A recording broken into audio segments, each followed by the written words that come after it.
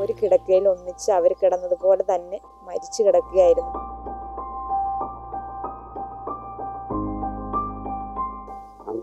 കിടക്കാനൊരു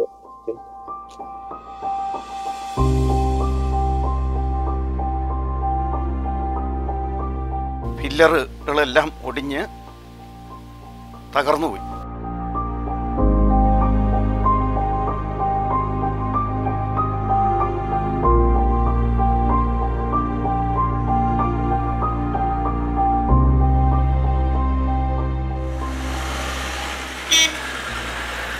ഇവിടെ ഒരു വീടുണ്ടായിരുന്നു.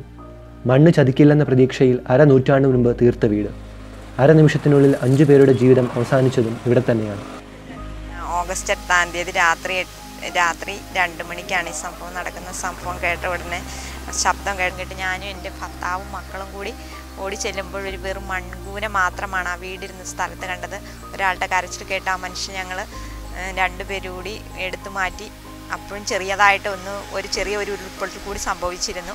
അപ്പോൾ എന്റെ മക്കൾ രണ്ടുപേരും കൂടി താഴെ പോയി ബന്ധുക്കളെ എല്ലാം വിളിച്ചു കൊടുന്ന് അങ്ങനെ ഞങ്ങളുടെ രക്ഷാപ്രവർത്തനമൊക്കെ പിന്നെ ലൈറ്റോ വെട്ടമോ ഒന്നും ഞങ്ങൾക്കില്ലായിരുന്നു. പിന്നെ എല്ലാം പതുക്കെ പതുക്കെ വന്നു. അങ്ങനെ ജെ സി ബി ഉപയോഗിച്ച് മണ്ണ് മാറ്റിക്കൊണ്ട് ഇപ്പോഴാണ് ഞങ്ങളുടെ മാമയെ കിട്ടിയത്. ആന്റിയാണ് അതിന് ശേഷമാണ് കിട്ടിയത്. പിന്നെ ആന്റി മരിച്ചിരുന്നു. അനിയനും രണ്ട് കുട്ടികളും ഭാര്യയും ഒരു കിടക്കയിൽ ഒന്നിച്ച് അവർ കിടന്നതുപോലെ തന്നെ മരിച്ചു കിടക്കുകയായിരുന്നു മണ്ണിനടിയിൽ.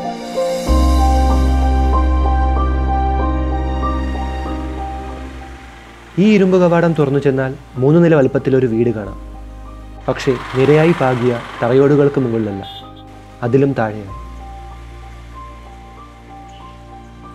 അപകട സമയത്ത് വീട്ടിലാരുമില്ലായിരുന്നു ഈ കെട്ടിടം തകർന്നു പോയത് പതിനേഴാം തീയതിയാണ് വെളുപ്പാങ്കാലത്തെ അഞ്ചു മണിക്ക് ആണ് ഇത് തകർന്നത് മൂന്ന് നില ഉണ്ടായിരുന്നു. ഒരു നില പൂർണമായും പോയി. പില്ലറുകളെല്ലാം ഒടിഞ്ഞ് തകർന്നുപോയി. കുത്തിയൊലിച്ചെത്തിയ മലവെള്ളം ഒഴുകാൻ തിരഞ്ഞെടുത്ത വഴി അടിമാലിയിലെ ഗോവിന്ദന്റെ വീടിനുള്ളിലൂടെയായിരുന്നു. ഒരു മനുഷ്യായുസ് കൊണ്ട് കെട്ടിപ്പൊക്കിയ വീടിന് ഒരു രാത്രി കൊണ്ടുണ്ടായ രൂപാന്തരത്തെക്കുറിച്ച് പറയുമ്പോൾ ആ മനുഷ്യന്റെ ശബ്ദം പതറുന്നുണ്ടായിരുന്നു. എട്ടാം തീയതി രാത്രി ഒൻപത് മണിയോടുകൂടി ഒരു വല്ലാത്തൊരു ഭീകരമായ ഒരു ശബ്ദം കേട്ട് ശ്രദ്ധിച്ചു കഴിഞ്ഞപ്പോഴേക്കും വീടിനുള്ളിലേക്കും മലയിടിഞ്ഞ് വീണ്. വീടിന്റെ രണ്ട് മുറി പൂർണമായും തകർത്തുകൊണ്ട് ഞങ്ങൾ കിടന്നിരുന്ന മുറിയിലേക്ക് ഈ വെള്ളം വെള്ളവും ചെളിയും അടിച്ചു കയറി ഭാഗ്യം കൊണ്ട് രക്ഷപ്പെട്ടു. നാട്ടുകാരെല്ലാം ഓടിക്കൂടിയതിന്റെ ഫലമായിട്ട് ഞങ്ങളെ മണ്ണിൽ നിന്ന് വലിച്ചു കയറ്റി ഞങ്ങളങ്ങനെ രക്ഷപ്പെടുകയുണ്ടായത്. സർക്കാരിന്റെ സഹായം പ്രതീക്ഷിച്ചുകൊണ്ട് എന്ത് ചെയ്യും എന്നറിയാൻ കഴിയാത്ത വിധം ഇപ്പോൾ ദൈനംദിനം കഴിഞ്ഞുകൂടുന്ന ഒരു അവസ്ഥയാണ് ഇപ്പോൾ നിലവിലുള്ളത്.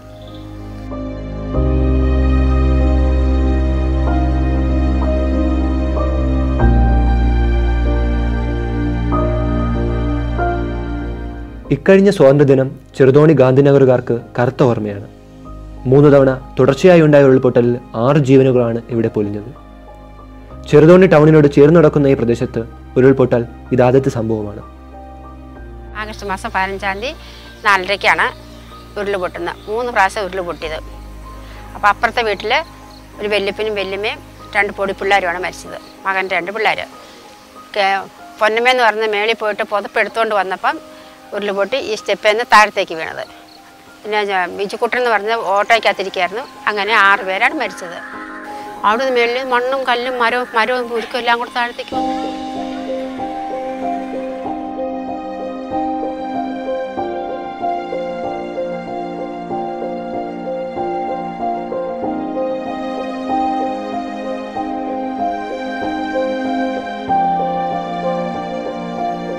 മണിക്കൂറിൽ പൂജ്യം പോയിന്റ് ഒന്നേ പൂജ്യം അടിയിൽ വെള്ളം ഉയർന്നതിനെ തുടർന്നാണ് രണ്ടായിരത്തി മുന്നൂറ്റി തൊണ്ണൂറ്റി ഒമ്പത് അടി ജലനിരപ്പ് എത്തുമ്പോൾ ഇരുപത്തി ആറ് വർഷങ്ങൾക്ക് ശേഷം ചെറുതോണി ഡാം തുറന്നുവിടുന്നത്.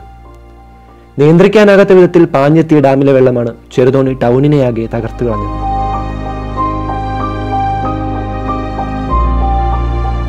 ഡാമിലെ വെള്ളം കുതിർത്ത ജീവിതങ്ങളിലൊന്നാണ് ചെറുതോണിയിലെ ന്യൂസ് ഏജന്റ് പവിത്രന്റേത് മുൻപ് ഡാം തുറന്ന തൊണ്ണൂറുകളിലെ ഓർമ്മയിൽ നിന്നുകൊണ്ട് പവിത്രൻ പറയുന്നത് മുന്നറിയിപ്പിലുണ്ടായ വീഴ്ചയെക്കുറിച്ചാണ്. നാൽപ്പത് വർഷത്തോളമായി ഞാൻ പത്രത്തിന്റെ ഏജൻസി തുടങ്ങിയിട്ട്. അപ്പോൾ ഈ നാൽപ്പത് വർഷത്തിനോട് ഇടകൊണ്ട് ഇത്ര ഒരു സംഭവങ്ങൾ ഉണ്ടായിട്ടില്ല. ഈ ഡാം തുറന്നു വിട്ടതിലുള്ള വ്യത്യാസമാണ് ഇതുണ്ടാകാൻ കാരണം. കാരണം രാത്രി ഇത് തുറന്നു വിട്ടത് ഇവിടെ ഒരു പത്ത് മുപ്പതോളം കടകൾ ഒലിച്ചു പോയി. പിന്നെ ആ കടയിലുള്ള ഒരു സാധനവും ആർക്കും എടുക്കാൻ പറ്റിയിട്ടില്ല. മേളിലൊരു വടം മേളിലൊരു വടം വലിച്ചു കെട്ടിയിട്ട് ആ വടത്തിന് താഴത്തേക്ക് ആൾക്കാരെ ഇറങ്ങി വിടില്ലായിരുന്നു. എന്റെ കട നിശേഷം പോയതാണ്. പത്രമാസികകൾ സ്പെയർ പാർട്സ് സ്റ്റേഷനറി നോട്ട് ബുക്കുകൾ ഇങ്ങനെയുള്ള സാധനങ്ങളൊക്കെ ഉണ്ടായിരുന്നു. ഏതാണ്ട് അഞ്ച് ലക്ഷത്തെ പരം നഷ്ടമുണ്ടായിട്ടുണ്ട് എനിക്ക്. നാൽപ്പതിനായിരം രൂപ രൂപയായിട്ടും പോയിട്ടുണ്ട്. അതൊന്നും എടുക്കാൻ ഇങ്ങോട്ട് ഇറങ്ങി വിട ഇറക്കി വിടില്ലായിരുന്നു. അതുകൊണ്ടാണ് അത് പോയത്. ഇവിടെയുള്ള മുഴുവൻ ആൾക്കാരുടെ ഈ കടക്കാരുടെ സംഭവങ്ങളൊക്കെ അങ്ങനെയാണ്.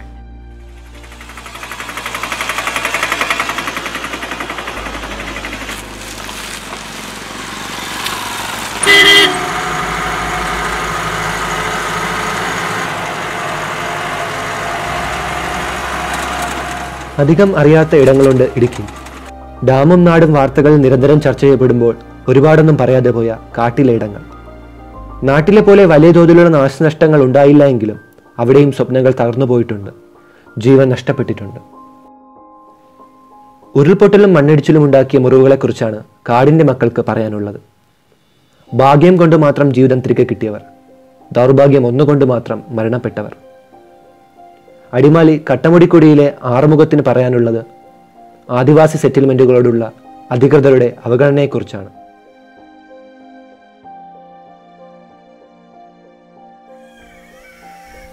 ഇത് രാത്രി രണ്ട് മണിക്കാണ് സംഭവിച്ചത്. സംഭവിച്ചത് അവിടെ ഉള്ളവരെല്ലാം ക്യാമ്പിലേക്ക് ഞങ്ങൾ മാറ്റിയായിരുന്നു. വീട്ടിലെ ആളൊന്നും ഇല്ലായിരുന്നു. ഭയങ്കര മഴയും കാറ്റും കാരണം ഈ ഉരുളുപൊട്ടി താഴത്തേക്ക് വന്നു. ഇവിടുത്തെ പ്രശ്നങ്ങൾ എന്ന് പറഞ്ഞാൽ ആ സമയത്തിൽ എന്ന് പറഞ്ഞാൽ ഭയങ്കര കഷ്ടവും ഭയങ്കര ദുരിതമായിരുന്നു സഹായങ്ങൾ ഇതുവരെ ഒന്നും കിട്ടിയിട്ട് കിട്ടിയതായിട്ടൊന്നുമില്ല. ഇങ്ങോട്ട് വരുന്നുണ്ട് ഇത് പോട അത് ഇതൊക്കെ പിടിച്ചു കൊണ്ടുപോകുന്നു. ഇതല്ലാണ്ട് ഇവിടെ സഹായമൊന്നും ഇതുവരെ കിട്ടിയിട്ടില്ല. പിന്നെ അവർ കാറ്റോ മഴയോ ബാധിക്കാത്തവർ വീട്ടിൽ പോയി തങ്ങുന്നതാണ് ഞങ്ങളുടെ ഒരു സ്വഭാവം പണ്ടേ ഉള്ളത് ആ വലിയ കാറ്റാണെങ്കിലും മഴയാണെങ്കിലും ഞങ്ങൾ വീട്ടിൽ നിന്ന് ഒരു ഇങ്ങനെ ഉരുളുപൊട്ടുന്ന സ്ഥലങ്ങളിൽ നിന്നൊക്കെ വൈകുന്നേരം ആകുമ്പോഴത്തേക്കും ആറുമണി ആകുമ്പോഴത്തേക്കും ശാപ്പടമൊക്കെ കഴിഞ്ഞ് ഞങ്ങൾ പോകും അങ്ങനെ രക്ഷപ്പെടുന്നതാണ് ഞങ്ങളൊക്കെ.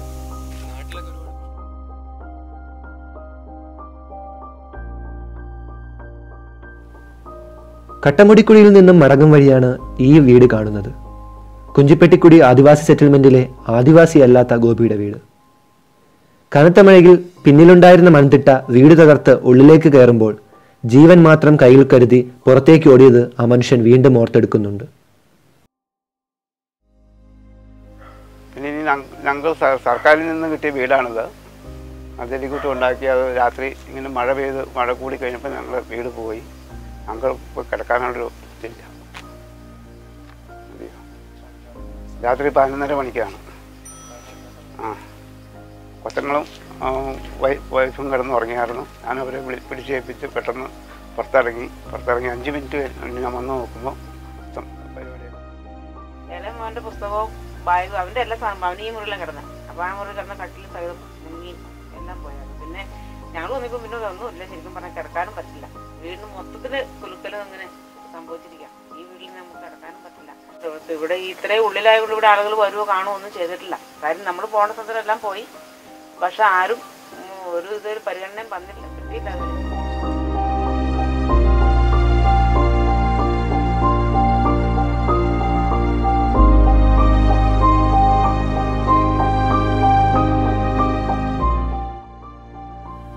ഭാഗ്യം ഒന്നുകൊണ്ട് മാത്രം സ്വന്തം കൂടപ്പിറപ്പിന്റെ ജീവൻ തിരികെ കിട്ടിയ കഥയാണ് ചിന്നപ്പാറക്കുടിയിലെ ശൈലാകുമാരന് പറയാനുണ്ടായിരുന്നത്. മണ്ണിലാണ്ട പാത്രങ്ങൾ തിരികെ എടുക്കുമ്പോൾ പുതിയൊരു ജീവിതം കെട്ടിപ്പടുക്കാനാകുമെന്ന പ്രതീക്ഷ അവർക്കുള്ളിൽ മണ്ണ് പുരളാതെ ബാക്കിയുണ്ടായിരുന്നു. പതിനാലാം തീയതിയാണ് ഈ സംഭവം നടക്കുന്നത്. രാത്രി ഏതാണ്ട് പന്ത്രണ്ടരയോടെ കൂടിയാണ് ഈ സംഭവം ഇവിടെ ഉണ്ടാകുന്നത്. അങ്ങനെ പെട്ടെന്ന് തന്നെ ഇത് സംഭവിച്ചു. പക്ഷെ ഇവരാരും അന്നേരം അറിയുന്നില്ല. നേരം വെളുത്ത് കഴിഞ്ഞ് വേറൊരു സഹോദരൻ വന്ന് നോക്കി ഇവരോട് ചെന്ന് പറയുന്നു ഇന്ന വില താഴത്തെ അളിയന്റെ വീട് ഇങ്ങനെ പോയി കിടക്കുന്നതെന്നൊക്കെ പറഞ്ഞ് അങ്ങനെയാണ് ഇവർ ഇവിടെ ഓടിയെത്തി വരുന്നത്. അപ്പം അത്രയും കഴിഞ്ഞിട്ടും എനിക്കും അങ്ങനെ ഈ വീട് പോയതായിട്ടൊരു ഇതുമില്ല. തിരിച്ചു വന്നപ്പോൾ ഇവിടുത്തെ ഗോപിരാമൻ എന്ന് പറയുന്ന മെമ്പർ എന്നോട് ചോദിച്ചു മോൾ മോക്കളുടെ വീട് എങ്ങനെയാണ് പോയെന്ന് ചോദിച്ചു. ഞാൻ പറഞ്ഞു എന്റെ വീടിന് കുഴപ്പമൊന്നുമില്ല എന്ന് പറഞ്ഞു. പോയിട്ടില്ല എന്ന് പറഞ്ഞു. അന്നേരം മോൻ എന്നോട് പറഞ്ഞു "ആ, ഇല്ല ചേച്ചി ആ വീട് പോയി. ഇനിയിപ്പോൾ അവിടെ താമസിക്കാൻ കൊള്ളത്തില്ല എന്ന് പറഞ്ഞു. ഇവിടെ വന്നിട്ട് കുറച്ച് രണ്ട് മൂന്ന് കട്ടിലും കിട്ടി ഒരു അലമാരം കിട്ടി. ആ സാധനം എടുത്ത് മാറ്റി വെച്ചു. രണ്ട് ആധാർ കാർഡ് കിട്ടാനുണ്ട്. ബാക്കി പാത്രങ്ങൾ അടുക്കളയിലുള്ള ഒരു സാധനം പോലും കിട്ടിയിട്ടില്ല. എല്ലാം ഈ മണ്ണിനടി കിടക്കുകയാണ്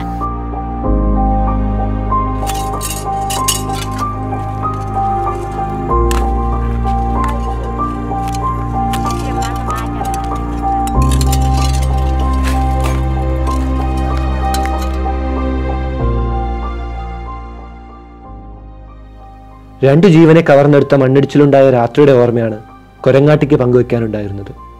അയൽവാസിയായ മോഹനന്റെയും ഭാര്യയുടെയും ദാരുണ മരണത്തെക്കുറിച്ച് ഉഷയുടെ മനസ്സിൽ അവ്യക്തമായ ചിത്രം മാത്രമായിരുന്നു ഉണ്ടായിരുന്നത്. രണ്ടുപേരും ഓരോ ഓരോ മുറിയിലായിരുന്നു ഇവർ മരിച്ച് കിടന്നത്.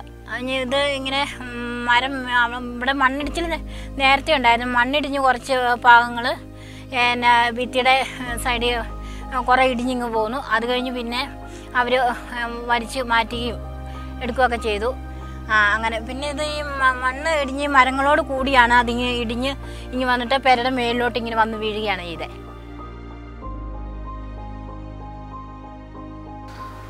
മണ്ഡലത്തിൽ ആഗസ്റ്റ് ഏഴ് മുതൽ ഇരുപത്തിരണ്ട് വരെയാണ് ശക്തിയായ മഴ പെയ്തത്. അതിലും പത്ത് മുതൽ പതിനെട്ടാം തീയതി വരെയുള്ള എട്ട് ദിവസങ്ങളിലാണ് നാശനഷ്ടങ്ങൾ കേടുപാടുകൾ ഒരുപാടുണ്ടായത്. പത്തൊൻപത് ജീവനുകളാണ് നഷ്ടപ്പെട്ടത്. എല്ലാം ഇനിയും കുറേ ഞങ്ങൾക്കത് പുറകോട്ട് പോയതെല്ലാം തിരിച്ചു കൊണ്ടുവരണമെങ്കിൽ വലിയ പ്രയാസമാണ്. കാർഷിക മേഖലയിൽ തന്നെ ഏക്കർ കണക്കിന് സ്ഥലങ്ങൾ ഒലിച്ചു പോയി. എന്നാൽ ഒരു അഞ്ഞൂറ് വീടിന്റെ മേളിൽ നഷ്ടപ്പെട്ടു എന്നുള്ളതാണ് വസ്തുത. ഇരുന്നൂറ്റി അമ്പത് പേർക്ക് എങ്കിലും മിനിമം സ്ഥലമില്ലാത്ത സാഹചര്യം ഉണ്ടായിട്ടുണ്ട്. അപ്പോൾ സ്ഥലവും വീടും മാത്രമാണ് ഇനി വേഗത്തിൽ കൊണ്ട് എത്തിക്കുന്നതിന് വേണ്ടിയിട്ടുള്ള ഒരു പ്രധാനപ്പെട്ട പങ്ക് വഹിക്കേണ്ട സാഹചര്യമുള്ളത്. പ്രളയത്തെക്കാളേറെ ഇടുക്കിയെ ബാധിച്ചത് അടിക്കടിയുണ്ടായ ഉൾപൊട്ടലും മണ്ണിടിച്ചിലുമാണെന്ന് collector Jeevan Babu I S ഉറപ്പിച്ചു പറയുന്നു. സർക്കാർ സഹായങ്ങൾ അടിയന്തരമായി തന്നെ അർഹതപ്പെട്ടവരിലേക്ക് എത്തിക്കുമെന്ന് അദ്ദേഹം വ്യക്തമാക്കുന്നുണ്ട്. ഇടുക്കി ജില്ലയെ സംബന്ധിച്ചിടത്തോളം ഏകദേശം ഇരുന്നൂറോളം പ്രധാനപ്പെട്ട ഉരുൾപൊട്ടലുകളും ആയിരത്തി എണ്ണൂറോളം മണ്ണിടിച്ചിലുകളുമാണ് ജില്ലയിൽ ഉണ്ടായിരിക്കുന്നത്. മെയ് മാസം മുപ്പത്തി ഒന്നാം തീയതി രണ്ടായിരത്തി പതിനെട്ട് മെയ് മുപ്പത്തി ഒന്നിന് തുടങ്ങിയ സൗത്ത് വെസ്റ്റ് മൺസൂണിന്റെ ഭാഗമായിട്ട് ജില്ലയിൽ ഉടനീളം വളരെ ശക്തമായ മഴയാണ് ലഭിച്ചിരുന്നത്. നിരന്തരമായി ലഭിച്ച ഈ മഴയുടെ ഫലമായിട്ട് ജില്ലയുടെ പല പ്രദേശങ്ങളിലും വലിയ രീതിയിലുള്ള ഉരുൾപൊട്ടലുകളാണ് സംഭവിച്ചത്. മലയോര മേഖലയിൽ മിക്കവാറും എല്ലാ സ്ഥലങ്ങളിലും വലിയ രീതിയിൽ റോഡിലേക്ക് മണ്ണിടിഞ്ഞ് വീഴുകയും ഉരുൾപൊട്ടൽ ഉണ്ടാവുകയും ഏകദേശം മുപ്പതോളം ആളുകൾ പതിനഞ്ച് പതിനാറ് തീയതികളിലായിട്ട് ജില്ലയിൽ മരണപ്പെടുകയാണ് ഉണ്ടായത്. തുടക്കത്തിൽ ഏകദേശം പത്തോളം ക്യാമ്പുകൾ ഉണ്ടായിരുന്ന ഒരു ഘട്ടത്തിൽ നിന്ന് ഇരുന്നൂറ്റി മുപ്പത്തി എട്ട് ക്യാമ്പുകളിലേക്ക് എത്തുന്ന ഒരു രീതിയിൽ മുപ്പത്തി മൂവായിരത്തോളം ആളുകൾ മുപ്പത്തി മൂവായിരത്തി എണ്ണൂറോളം ആളുകളെ ക്യാമ്പുകളിൽ പാർപ്പിച്ച് അവർക്ക് ആവശ്യമായിട്ടുള്ള ഭക്ഷണ ഭക്ഷണേതര വസ്തുക്കളെല്ലാം ക്യാമ്പുകളിൽ പ്രൊവൈഡ് ചെയ്യുകയാണ് ഉണ്ടായത്. നമ്മളെ സംബന്ധിച്ചിടത്തോളം ഏകദേശം ആയിരത്തി അറുന്നൂറോളം വീടുകൾ പൂർണമായിട്ട് നഷ്ടപ്പെട്ടിരിക്കുകയാണ്. ആ വീടുകൾ പുനർനിർമ്മിക്കുക എന്ന് പറയുന്ന വലിയൊരു പ്രക്രിയയാണ് നമ്മുടെ മുമ്പിലുള്ളത്. ചില സ്ഥലങ്ങളിൽ ആദിവാസി ഊരുകളിലെ വീടുകൾ നഷ്ടപ്പെട്ടു പോയ ഒരു സ്ഥിതിവിശേഷമുണ്ട്. പൊതുവെ എടുക്കുമ്പോൾ അവരുടെ നമ്പറുകൾ കുറച്ച് കുറവാണ്. പക്ഷെ ആ വീടുകൾ എത്രയും പെട്ടെന്ന് പുനർനിർമ്മിക്കുന്നതിനുള്ള എസ്റ്റിമേറ്റ് എടുക്കുന്ന പ്രവർത്തനങ്ങൾ ഓൾറെഡി തുടങ്ങി കഴിഞ്ഞു. ആദിവാസി ഊരുകൾ നിൽക്കുന്ന പ്രദേശങ്ങളിൽ ഇതേപോലെ തന്നെ മണ്ണിടിച്ചിലിന്റെ ഭീഷണി ഇപ്പോഴും നിലനിൽക്കുന്നുണ്ടെങ്കിൽ അവിടെ തൽക്കാലത്തേക്ക് വീട് നിർമ്മിക്കാതെ കുറച്ചുകൂടെ സുരക്ഷിതമായിട്ടുള്ളൊരു സുരക്ഷിതമായിട്ടുള്ള ഒരു സ്ഥലം കണ്ടെത്താനുള്ള ഒരു നിർദ്ദേശമാണ് നിലവിൽ നമ്മൾ നൽകിയിരിക്കുന്നത്. പൂർണമായിട്ടും അല്ലാതെ ഭാഗികമായിട്ട് നാശനഷ്ടം സംഭവിച്ച വീടുകളുടെ എല്ലാം കണക്ക് ഒരു ആപ്പ് വഴിയായിട്ട് എടുത്തിട്ടുണ്ട്.